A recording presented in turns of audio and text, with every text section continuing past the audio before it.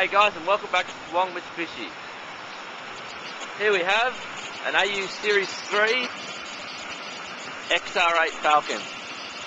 As you can see, it looks stunning in white paint. It has the alloy wheels, and yes, it does have the hand-built 6-foot motor. This is an awesome car, full leather interior, and yes folks, it is the 5-speed.